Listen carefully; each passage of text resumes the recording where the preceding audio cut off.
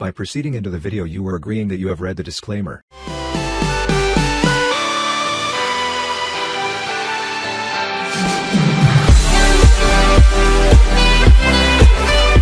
तो hello and welcome students to Manu का ज्ञान आज हम लोग पढ़ने वाले हैं क्लास एट का चैप्टर नंबर 15 सूरदास के पद.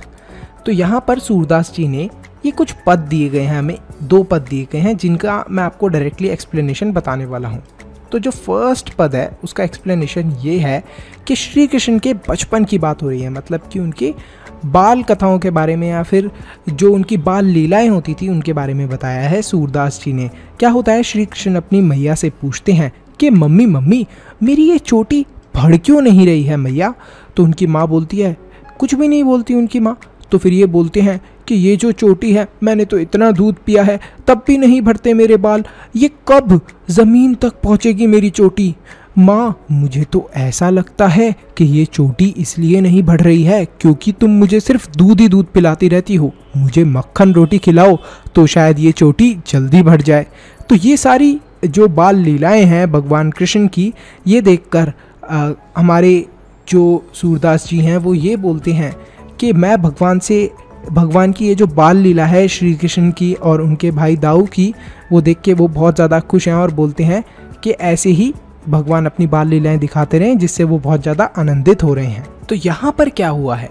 यहाँ पर गोपियाँ ये बोलती हैं यशोदा मैया से कि, यशोदा मैया, देखो जो तुम्हारा कृष्ण है, ये आता है दिन में जब कोई नहीं होता। हमारे मंदिर से दही माखन खा जाता है और साथ में अपने दोस्तों को भी खिला देता है।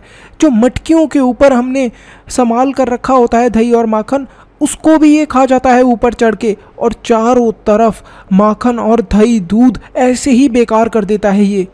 ऐसे तो बहुत ज़्यादा दही, दूध और माखन की बर्बादी हो रही है। आपका बच्चा तो बहुत शैतान है तो वो ये सारी चीज़ें बोलती हैं। और इसी वजह से जो यशोदा माँ थी, उनको थोड़ा बहुत गुस्सा आता है। लेकिन तभी गोपियाँ ये बोलती हैं कि अगर ये ऐसा नहीं करता, तब भी हमारा मन नहीं लगता। हमें बहुत अच्छा लगता है जब ये ये सब करता है। तो वो कंप्लेन कर रही थी या फिर तारीफ़ कर रही थी? ये तो किसी को समझ में ही नहीं आ रहा था। मतलब उन्हें श्री कृष्ण से इतना प्यार था कि वो इतनी शैतानियाँ करने के बाद भी उनसे सारी गोपियाँ बहुत प्यार करती थी। तो ये जो हमारा पूरा चैप्टर है, ये ख़त्म होता है यहाँ पर सूरदास के पद इसको मैंने आपको शॉर्ट में समझाया है, जो इम्पोर्टेंट चीज़ें हैं, जितना आपको एग्ज़ाम के लिए चाहिए ज़रूरत है, उतना मैंने आपको समझा दिया है। तो बेस्ट ऑफ़ लक और आपसे मैं ये क्वेश्चन पूछना चाहता हूँ कि श्री कृष्ण की सबसे फेवरेट चीज़ क्या थी? देखते हैं कितने बच्चों को पता है।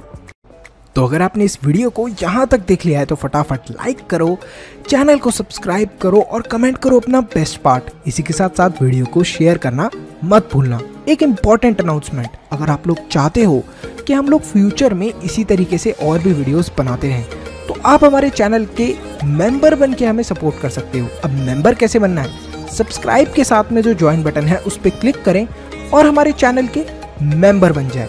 तो आप हमें सपोर्ट कर रहे हैं डायरेक्टली कि हम आगे फ्यूचर में ऐसे ही वीडियोस लाते रहें। तो thank you so much for watching this video stay happy stay healthy मनुष्य ज्ञान लेते रहो। Better then see in the next video